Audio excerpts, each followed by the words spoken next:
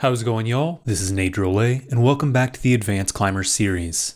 I appreciate y'all tuning back in, and without delaying any further, I'll go ahead and get started. Number 56 When to stop looking for better beta and just try harder. Oh man, this is a tough one to nail down well. Most of us fall on either side of the spectrum on this. Either we really want things to feel perfect and so we are constantly hunting for all the best minutia we can find to make this climb feel as easy as possible or as comfortable as possible. Or on the other end, some people just want to give rips and try really hard. There are advantages to both and there are disadvantages to both. One of the big advantages for hunting down better beta all of the time, trying to find all this little minutia, is we're going to level up our skills and different techniques. We're going to really figure out what works when and what doesn't. We're going to become better with the tools we have. And if we're open to suggestions from other people, we look at video, we're going to learn new techniques this way too. If you can't figure out how to do this move on your own and you outsource the information as much as you can, you might learn all these new different techniques. And that's really cool, that's super useful. This means that the people who spend a lot of time dialing things in are likely getting better skill development out of this practice. On the other side, we have the people who just want to try hard, grip it and rip it. These people are likely going to get a better strength stimulus out of their climbing because they're spending more of their session trying hard, and they're likely doing bigger links at a time rather than pulling on, trying one individual move, not sure if it's going to work or not, kind of hesitating, dropping off. They're just pulling on and trying hard. This can be great for a slightly better strength stimulus, Probably good for confidence, frankly, because you have to climb confidently to do that. You're instilling that kind of belief in yourself. And it's worth noting that the ability to try very hard while staying composed is one of the most important skills you can have as a high level climber. We are at the point to where it's not good enough to only try hard or only move well. You have to be able to combine the two. That's a pretty hard lesson to learn for a lot of climbers who try to have this more nuanced technical approach. Sometimes the beta is to try harder. If we're looking at disadvantages for the try hard group, I mean, this one's kind of obvious. You can end up spinning your wheels for a long time on something because you didn't look for beta long enough, or you just didn't find enough nuance within the beta that you had. Maybe it would only take you 5 or 10 minutes of really dialing that one move in individually rather than trying from the ground every time for you to just be able to send this thing fast. Another disadvantage here is it is exhausting to just try hard all the time. If every single go you decide you're going to pull on and fight to the death, that is exhausting. You can only do that so many times in a session, and we don't want to waste those great efforts.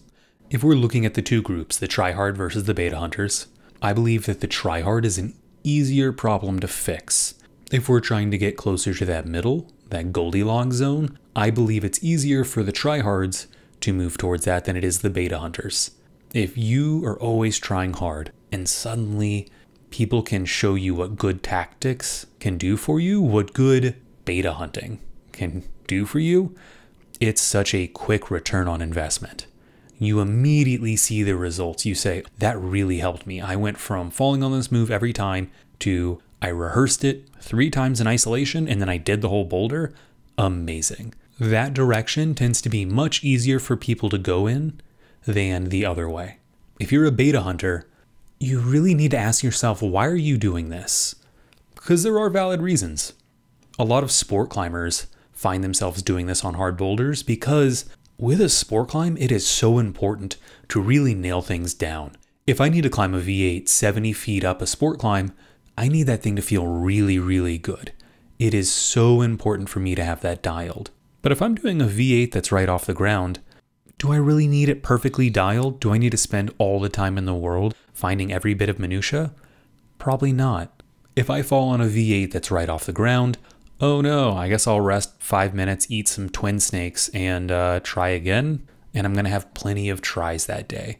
It's not that big of an issue. So I can err towards the side of not dialed in enough with a pretty low risk. As a sport climber, if I'm on a 90 foot climb with a V8 near the top, I might only get one or two tries in a day, especially if there are other people trying the route that day, if the route goes in the sun at a certain point, I might have a very narrow window that I can try this. So, what that means is I can't just keep rapid firing this boulder. I need to have it dialed in so that when I get there with some sort of fatigue, I can climb well on it. If you are a sport climber and you're finding yourself overly obsessing with all the minutiae when you're bouldering or even training on boulders, which can become a problem, I believe it's important to try and shift more towards the try hard side. How do we do just enough work on the beta finding so that we can give ourselves a good chance of sending? If you're someone who prides themselves on always finding the best beta and the perfect solution for yourself, are you doing this because you believe you are so skilled that all of this extra time is really turning into a material output for faster sends and sends of harder climbs? Or are you doing this because you're hesitant to try hard? Do you just want things to feel comfortable? And dialing everything in in this way, taking out all uncertainty in this equation so that you can stay in your comfort zone? Unfortunately, I see more people fall in that latter category we hunt for beta and try and perfect everything, not because it is the best way possible, but because it's what makes us feel the most comfortable. And if you're one of those people, I've got a drill for you to help. This drill is called 10 minute takedowns. You're going to find a new climb that you've never been on before. It should be one grade above flash level. You're going to give yourself 10 minutes, and in that 10 minutes, you can be as tactical as you want. Try every move in isolation, do tiny links, brush holds, like stack pads, feel all the holds, get power spots, climb into the sequences from different holds or different boulders. Do anything you can as tactically as you can for 10 minutes. And when 10 minutes is up, shoes off, you're resting. You're going to rest three to five minutes. It really doesn't matter. You want to be moderately well rested. If you've got plenty of time, sure, five minutes, that's great. For people who are a little more on a time crunch, three is perfect. Take a three minute rest, and then you give a red point go from the ground. If you send it, amazing. If you don't, you're going to rest another three to five minutes and you get one more try. And that's it. You're not allowed to try the boulder again for the rest of the day. And that part is super important. People who love to beta hunt can get trapped in this idea of always having more goes. And that's a problem because you won't sometimes you're going to need to pull the trigger. It might be the last day of the trip, rain might be coming in, sun is about to hit your project, there's a huge lineup that just pulled up for the climb you want to do. You need to send right now. We don't have time to dilly dally, figure out all the minutiae, and just keep giving more and more goes in this attrition warfare approach to sending. You need to do it now. And that's what the 10 minute takedown is for. You get your 10 minutes, be as tactical as you want and then you get two good efforts. And that's it. You have to walk away for the rest of the day. It's important that there feels like consequences to not sending. The last thing that I'll say on this subject is that I mentioned earlier that there's this Goldilocks zone of not chewing too much beta hunting and not just giving rips from the ground blindly every single go. Somewhere in the middle. Our goal is not to be perfectly in the middle. I think perfection is an unrealistic goal, and it sets us up for failure if that is the standard we're judging ourselves against. If the only way of succeeding is through perfection, you're going to fail every time. We're not going to do that. We're not going to aim for perfection. All I ask is can you catch yourself before you go off the rails? Can you catch yourself when you start to get in that bull sees red, just try, try, try mindset? If you can see that as it's starting to happen and throttle it back, perfect. We don't need to prevent it entirely because we're always going to be existing on this pendulum between the two. We just want to make sure that pendulum doesn't swing too far in either direction. If you're feeling called out by this content and want some more of that in your life, hit subscribe down below. Number 57. Being able to run a climb through your head in first person. What this means is being able to close your eyes and imagine yourself climbing the boulder or route I always forget routes. And imagining yourself grabbing the handholds, stepping on the footholds, can you kind of feel what it's supposed to feel like?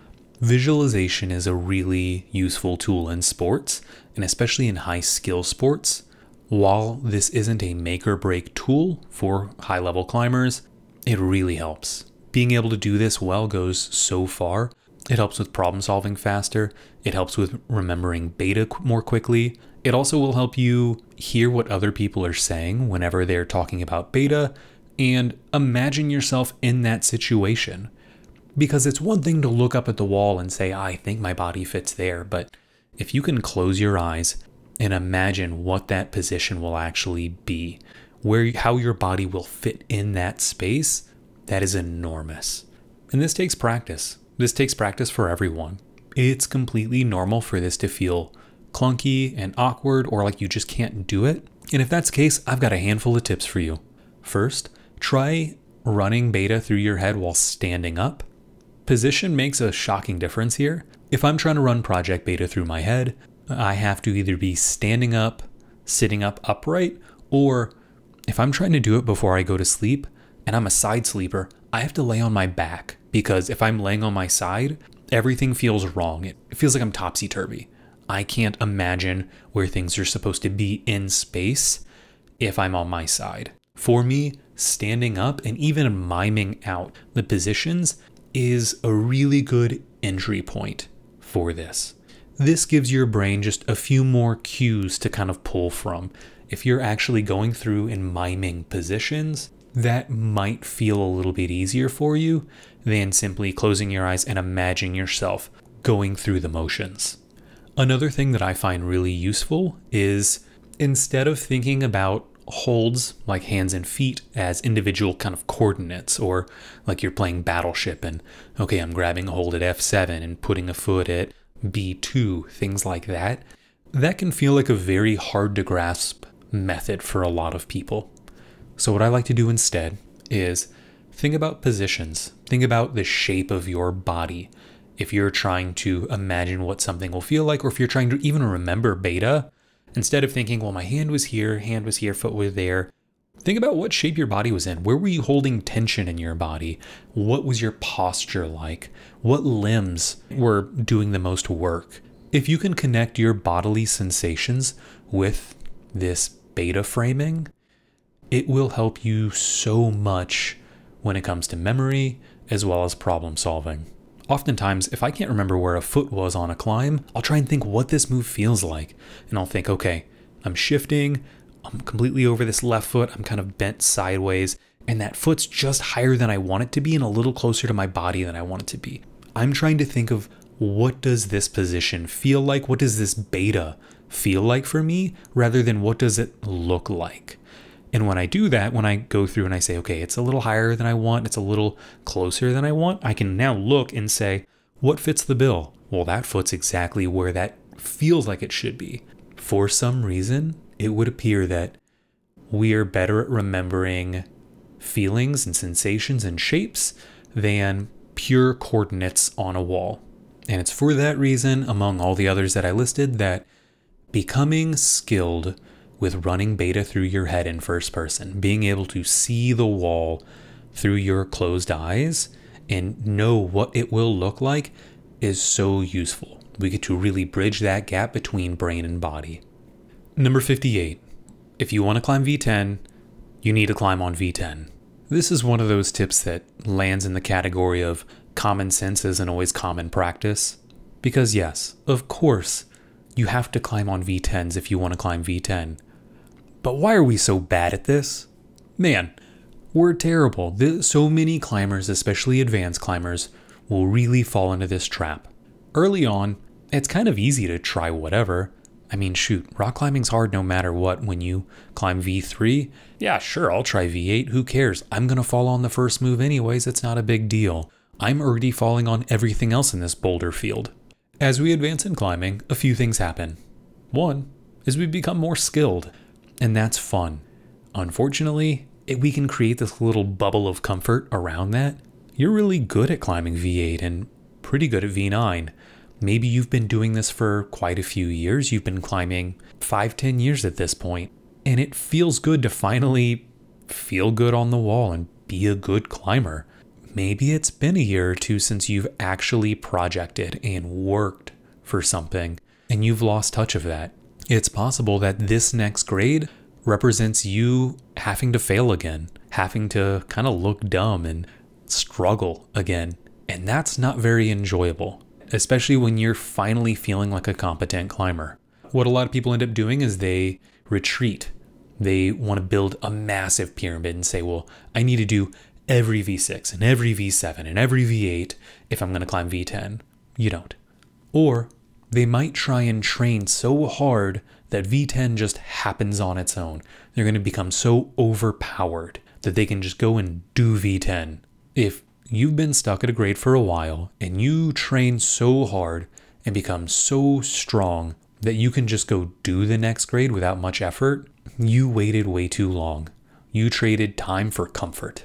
This can happen at any grade, but what we most commonly see is that it's the big benchmark grades that get people hung up. That could be 13A, 14A, V10. If you're European, that could be French 8A or Font 8, 8A, maybe French 8B if we're still keeping kind of in that advanced category here. But it doesn't have to be those. Maybe it's the grade that when you first started climbing, all the strong people around you, that's what they climbed. Oh man, V8 was hard when you first started. That's what all the strong people in your gym climbed.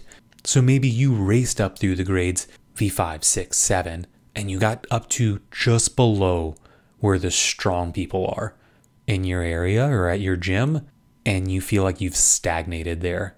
Maybe you've even convinced yourself that's where the hard stuff really begins. Where I'm at, anyone can get to here, but the grade disparity is so significant from V7 to V8 or V9 to 10 or 11 to 12, whatever you want to tell yourself.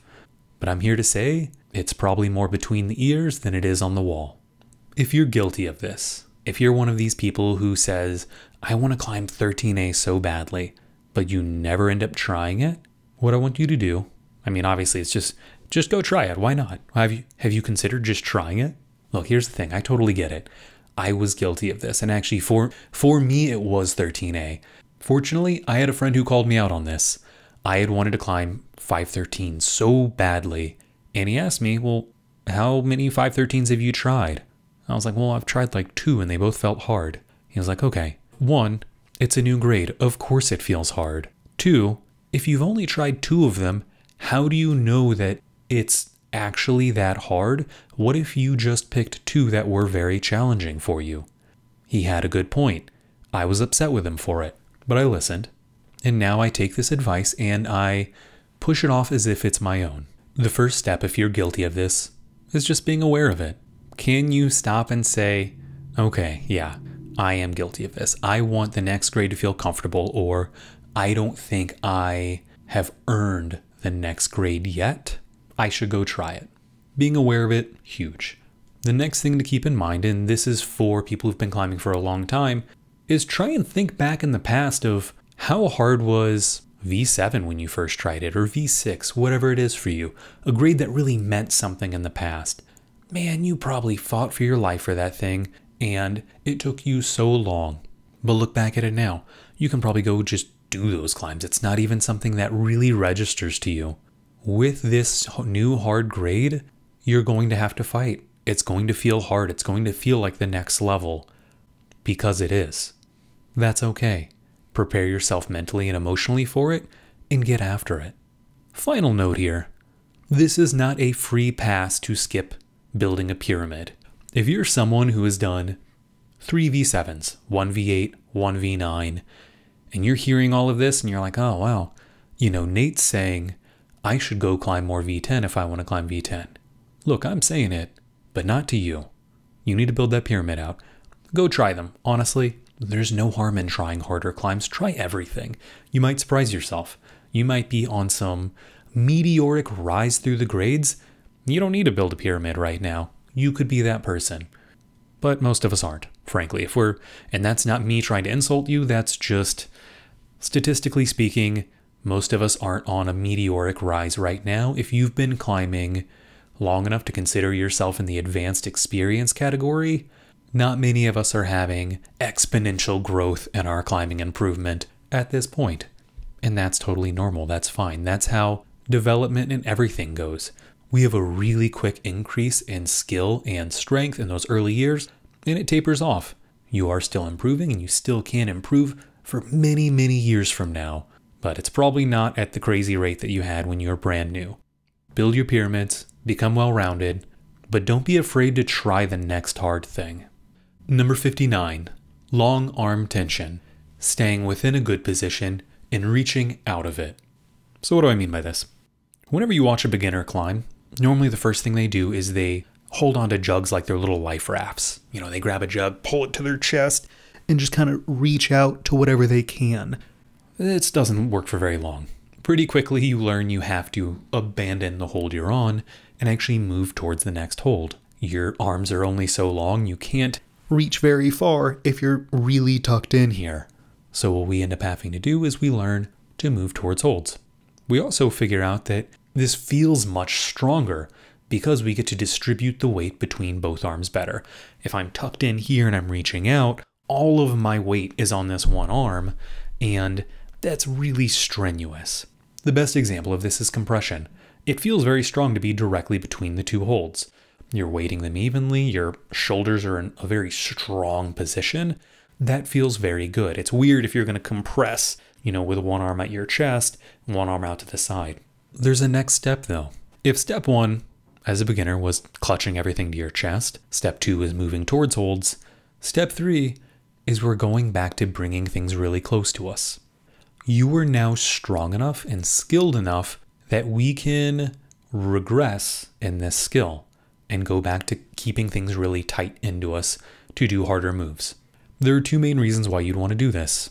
One, it takes advantage of unevenly distributing the stress between your hands. To put more simply, the hand that's really close to you that you're like locked off on, more of your weight's going to be on that hold because your body is closer to that hold versus the one that's far out. This can be really useful. Let's say if you're on a jug and you're reaching out to a tiny little crimp. Why would I want my weight to be perfectly distributed between a micro crimp and a jug? That's terrible. I want as much weight on that jug as I can, especially when I'm initially latching a hold because when we first latch a hold, there's a big spike in force of us hitting it and having to control the outward momentum of our body coming away from the wall and reeling back in. And we want to dampen out that peak force as much as we can. There's a few good ways to do it, but one is if we stay closer to the better hold and just extend our arm to its full maximum length, we'll be able to hit that next hold while controlling as much as we can with this jug that's near us. There is one obvious downside, and that's that this extended arm is a very hard position to hold. You know, it's almost like a half iron cross. We're not very strong with our arm completely extended out to the side, but that's okay. You're an advanced climber. You are stronger now. We can trade a little bit of big muscle physical strength, this iron cross strength, to make the handhold a little easier to grab. So maybe I will do this big move, grab this little crimp almost like it's in an iron cross, but a lot of my weight's in my closer arm. I now have the hold controlled. I don't have to deal with that big peak force of smashing into the crimp. And now I can typewriter my body over and really settle into the small crimp. So that's reason number one why this can be advantageous. We can keep more weight on a good hold to be able to grab worse holds and better control. The second reason why this can be useful is because maybe the start position is in really good balance. And if you move out of that position to go to the next hold, you're immediately going to barn door or swing away. Because of that, we might need to create a little momentum and kind of pulse back into the start position, reach out, grab the next hold. Now that you have it in controlled, you can create tension and slowly unwind yourself out to fight that barn door. Maybe this barn door you can control statically, but you would never be able to control it with the added momentum of moving towards the hold. Once you know what to look for, you will see high level climbers using long arm tension all of the time. They'll even hold cuts like big aggressive swings with one arm fully pulled in and the other arm really extended out. And they can do this because their shoulders are very strong and it allows them to hold much harder swings by distributing the weight accordingly to whichever handhold feels better. If the idea of long arm tension still feels a little confusing, you can also think about it as you don't always have to be directly between the two holds you're on. Play with that. Number 60. Understand that things can still feel bad even when you're using the correct methods. I wish this wasn't the case. Unfortunately, as we do harder and harder climbs, movements become very novel and unique and strange. And you're going to encounter so many moves that just feel awful. It's going to feel so foreign to you, but you still have to try and try hard. We need to learn how to separate out how a move subjectively feels, this feels bad, versus how it objectively goes. Well, I did it.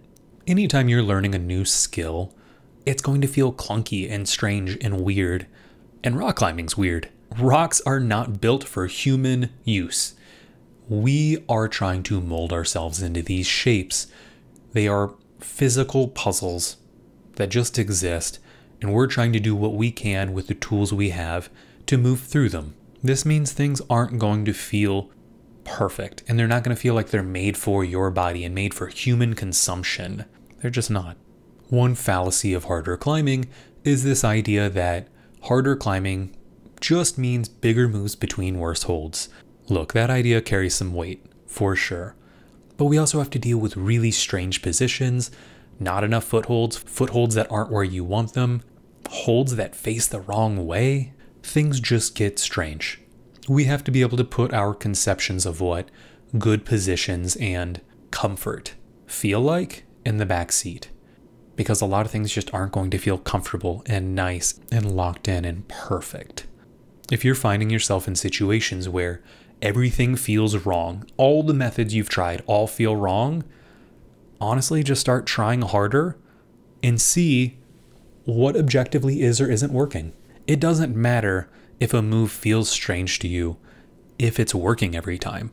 This will be a repeat experience in your climbing. You will go for a move that feels absurd and improbable, and you might even start looking at the ground to spot your landing, only to start to stick the move. And then you hit the ground because you didn't actually commit to it, and you're like, wait, hold on. That felt like it had a 0% chance. My brain was already thinking about how I was going to land, and I almost stuck it. What was that? What was this gap between perception and reality? And how do I close that gap? If you're trying to level up in climbing, you're going to run into more and more of these situations that just feel wrong. The best you can do is turn on your analytical brain and say, okay, this doesn't feel good, but how does it work?